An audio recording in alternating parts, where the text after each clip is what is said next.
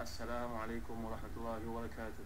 إن الحمد لله نحمده ونستعينه ونستغفره ونعوذ بالله من شرور أنفسنا ومن سيئات أعمالنا. من يهده الله فلا مضل له ومن يضلل فلا هادي له.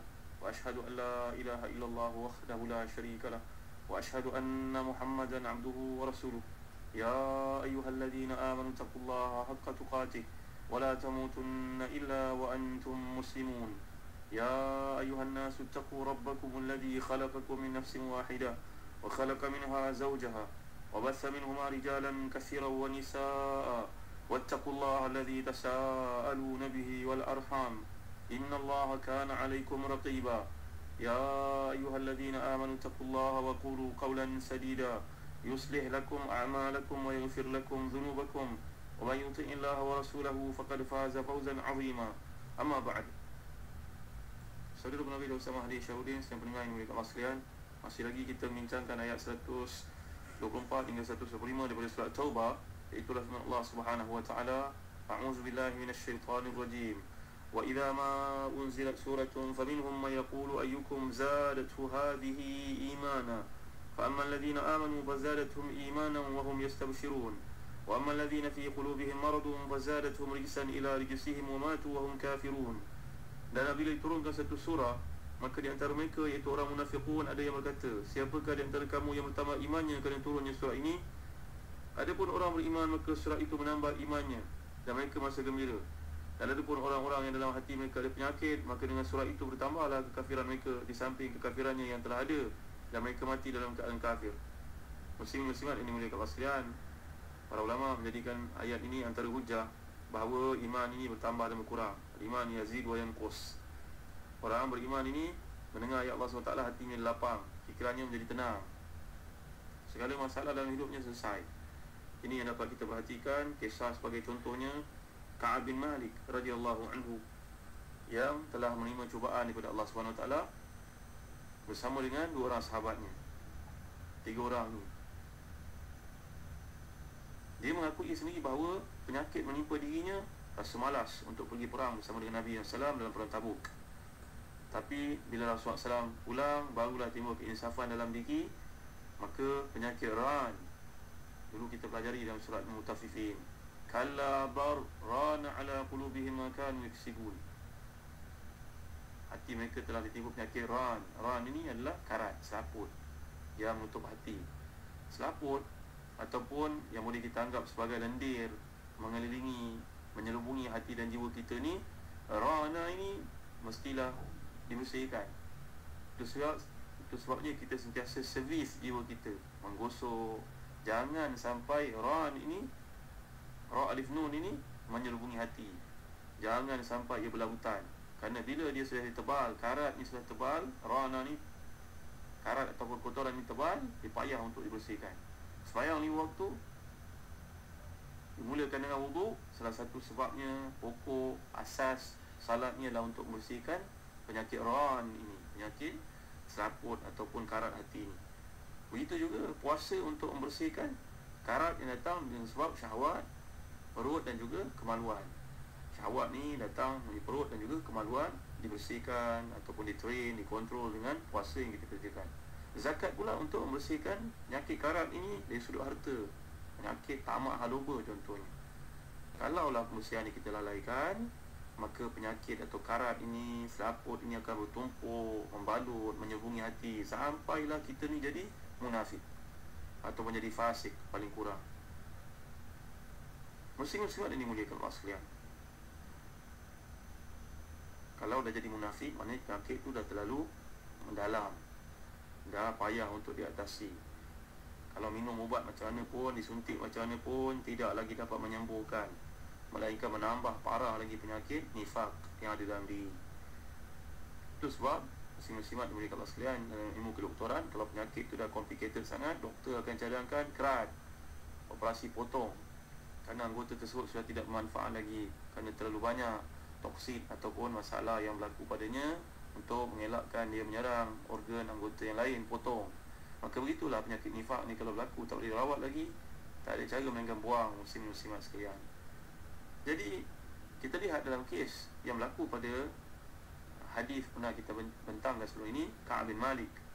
Bersama dengan dua orang sahabatnya yang telah pun takhalluf dari misi ataupun operasi tabuk yang telah kita bincangkan sebelum ini maka Nabi yang salam telah memulaukannya selama 50 hari.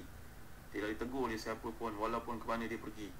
Tengah menderita kemuncak kepada pelaku datang cubaan yang hebat pula daripada Raja Kristian, Raja Rasan supaya dia ni meninggalkan Nabi. Masuk Kristian lah nanti kami akan beri pada kamu bimbingan bantuan. Kami akan bagi kamu kedudukan. Dia tolak. Dia yakin bahawa ubat bagi penyakit yang lalui dalam dirinya pada hari ini adalah bercakap benar dan mengalamilah semua ujian, hukuman, cubaan yang Nabi timpakan itu. Di 50 hari tidak bertegur siapa dengan para sahabat. Semuanya tidak melayan dia melayan mereka. Kemudian Allah pun menurunkan ayat untuk mereka bertiga. Wala salasa ke atas tiga orang. Perhatikan kembali muslim-muslimat sekalian bagaimana sikap Ka'ab bin Malik bila Nabi menyampaikan berita gembira itu kepadanya bangkit.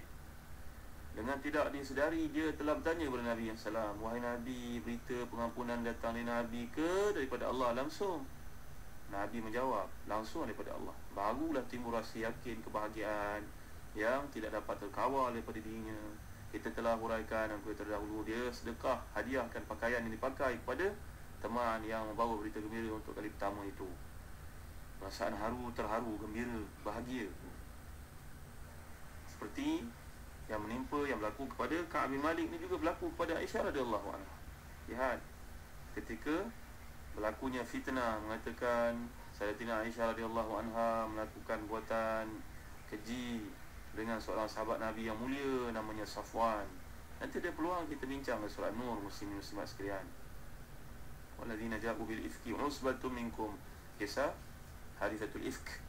Cerita tentang fitnah yang ditujukan kepada rumah Nabi Muhammad SAW Mengetangga Nabi SAW kepada isteri Nabi yang paling Nabi cintai iaitu Aisyah radhiyallahu anha. Bila khabar fitnah itu disebar-sebarkan Maka Aisyah radhiyallahu anha telah mengambil keputusan untuk Menginya rumah ibu ayahnya. Rasulullah datang melihatnya. Bila wahyu turun Wahyu turun barulah Nabi SAW menyampaikan kepada Aisyah. Aisyah radhiyallahu anha bergembira. Lihat ini orang-orang beriman. Tenang, lapang hatinya bila turun ayat Allah SWT Berbeza daripada orang-orang munafiqun. Sebab Aisyah ni dalam kes ketenangan hati Dia yakin, dia tidak bersalah. Allah pasti akan bersihkan namanya. Setelah Nabi SAW senyum Dan keringat mengalir di Kening Nabi SAW nanti kita akan bincang Kerana wahyu ni bila turun Berat ke atas Nabi SAW Berpeluh-peluh Nabi SAW Dan Abu Bakar anhu Seakan-akan tidak dapat bernafas Menunggu apa yang akan Nabi bacakan depan Dia dan juga anaknya dan isterinya. Isterinya Ibu kepada Aisyah radhiyallahu anha. Jadi akhirnya Nabi pun bersabda bergembiralah Aisyah telah datang wahyu membersihkan dirimu dari fitnah. Mendengar itu Abu Bakar benar-benar tahu isinya sendiri semuanya berkata kepada Aisyah kedua-duanya wahai Aisyah jumpalah Rasulullah dan ucapkan terima kasih kepada Nabi SAW apa jawab Aisyah? Muslim-muslimat sekalian. Aisyah radhiyallahu anha mendengar nasihat ibunya itu dia berkata tidak aku tidak akan berterima kasih kepada Rasulullah. Aku akan berterima kasih kepada Allah SWT sebab Allah yang telah membersihkan aku. Maka begitu juga waktu yang sama berlaku pada pengalaman yang sama kepada Ka'ab bin Malik. Dia tanya kepada Nabi yang salam, wahai Nabi, pemberitahuan keampunan ini daripada Nabi ke daripada Allah SWT? Bila Nabi jawab daripada Allah, kedua-dua kes ini menunjukkan kegembiraan yang bukan kepalang. Turun ayat Allah SWT untuk meletakkan mereka ni bebas. Mereka ni diampunkan. Mereka ni tidak ada masalah langsung. Maka ini yang kita nak kena faham. Muslim-muslimat yang hati ni kasih Allah sekalian tentang hatinya lapang jadi tenang mendengar ayat Allah SWT begitu juga Ubay bin Ka'ab begitu juga Allah bin Salam. Adalah mereka yang pada peringkat awal merupakan orang Yahudi masuk Islam. Bila diriwayatkan dalam satu hadis oleh Anas bin Malik pada satu hari Rasulullah SAW memanggil Ubay bin Ka'ab berkata kepadanya wahai Ubay semuanya Allah telah menurunkan kepadaku satu surah agar dibacakan kepada engkau. Nabi membacakan ayat di surah Al-Bayyinah lam yakunil ladzina kafaru min ahli kitab wal musyrikin munfakin hatta ta'tiyahumul bayyinah tidaklah akan ada orang-orang kafir dari ahli kitab dan orang musyrikin itu yang mahu berpisah dari kekafiran mereka sehingga datang kepada mereka satu bukti. Iaitulah Rasul dari Allah yang membacakan kepada mereka lembaran-lembaran Quran yang suci. Maksud Nabi di sini Allah suruh bacakan untuk kamu Kerana ayat ni turun untuk kamu. Menurut riwayat Anas ini muslim-muslimat sekalian Bila Nabi panggil Ubay Menjelaskan perkara itu Ubay tanya kepada Nabi semula Wahai Nabi Betul ke Allah menyebut namaku? Wahai Nabi, wa Rasulullah benarkah namaku disebut oleh Allah? Jawapan Nabi, ya wahai Ubay. Nama namaku telah menjadi sebutan di sisi Rabbul Alamin. Jawapan Nabi, ya. Tidak dapat Ubay bin Ka'ab ni menahan air matanya muslim-muslimat sekalian. Kecucuran air matanya gembira. Kerana mendengar betapa mulianya Rasulullah SAW menyampaikan pesan itu daripada Allah SWT Jadi bila kita faham ayat-ayat seperti ini Kita sebagai orang Islam yang jauh daripada zaman Nabi SAW dan bahasa Arab bukanlah bahasa kita. Jadi sedangkan orang Arab yang memahami bahasa Al-Quran ini memahami bila diturunkan di kalangan musuh-musuh Nabi yang hidup sezaman dengan Nabi mereka ni pun ada penyakit. Mereka yang faham Quran seperti ini pun ada penyakit dalam hati. Bagaimana kita yang duduk kat belakang ni muslim-muslimat sekalian? Bahasa Arab bukan bahasa kita. Baca Quran pun tidak faham bimbang kan penyakit ni menyerang dalam diri kita. Nabi SAW memahami Alhamdulillah Allah beri penuh hidayah tingginya kedudukan mereka. Tapi yang menyerang Nabi itu yang menentang Nabi kan Abu Lahab, Abu Jahal dan seangkatan dengannya mereka faham Quran bukan tidak faham. Dan orang munafikun yang buat-buat beriman tapi dalam hatinya ada nifak. Kerana penyakit dalam hati itu yang menyebabkan menjadi penghalang kepada keimanan muslim-muslimat sekalian jadi balik pada kedudukan kita Bagaimana kita nak baiki diri kita Supaya hati ini lapang Ikut Islam jadi tenang Yang pertama tadi belajar Tauhid Aqidah yang benar Dan Allah gambarkan dalam banyak firmannya Dalam ayat lain وَمَا يُرِدْ أَيُّذِلَّهُ يَجْعَلُ صَدَهُ ضَيِّقًا حَرَجًا كَأَنَّمَا يَسَعَلُ فِي السَّمَاءِ Dan surat Al-An'am ayat ke-25 Siapa yang Allah tidak kehendaki baginya kebaikan Islam itu Allah nak sesatkan dia Maka dadanya akan jadi sempit Seperti orang yang duduk terapung di udara turun daripada tempat yang tinggi tersekat tersesak nafas dia ha, begitulah orang yang tidak mahu memahami akidah yang kedua kita telah huraikan pada kuliah terdahulu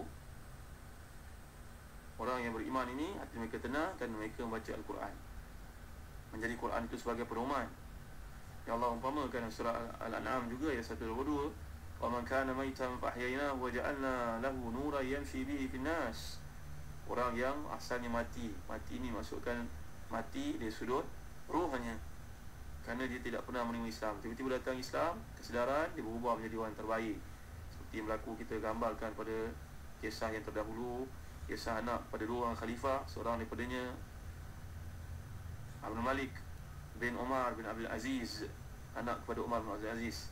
Begitu juga dengan anak kepada Al-Ma'mun. Kedua-duanya ni telah milih jalan kehidupan yang serba zuhud untuk membolehkan mereka ni menikmati iman yang sebenar harta tidak memiliki tempat dalam hati mereka masing-masing Walaupun saya telah jelaskan pada kuliah terdahulu muslim-muslim sekalian harus kita faham hadis yang mana Nabi mohon untuk hidup miskin, mati miskin, dibangkitkan sebagai orang miskin. Hadis ini telah kita jelaskan pada kuliah yang terdahulu ada tak takwilannya. Maka muslim semua ini mereka sekalian nanti kita akan uraikan lagi sebab lapangnya dada bagi orang beriman kerana dia ada kaitan dengan kehidupan kita agar kita dapat amalkan menjauhi sifat-sifat nifak dalam diri. Ada beberapa langkah lagi atau sebab atau teknik yang boleh kita lakukan untuk dapat hati yang tenang seperti mereka. Allahu alam. Wa sallallahu ala sayyidina Muhammad wa ala alihi wa sahbihi wa baraka wa sallam. Walhamdulillahi rabbil alamin. Wa barakallahu fikum. Wassalamu alaikum warahmatullahi wabarakatuh